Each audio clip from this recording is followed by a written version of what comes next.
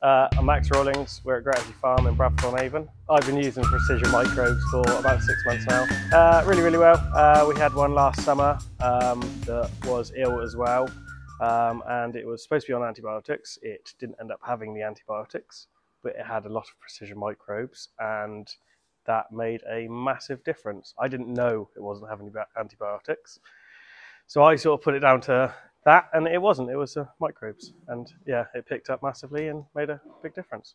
So we're uh, we're using precision microbes uh, in their morning feeds, uh, longer term, um, and they have it mixed in with the milk, 30 mils, and um, yeah, made a big difference.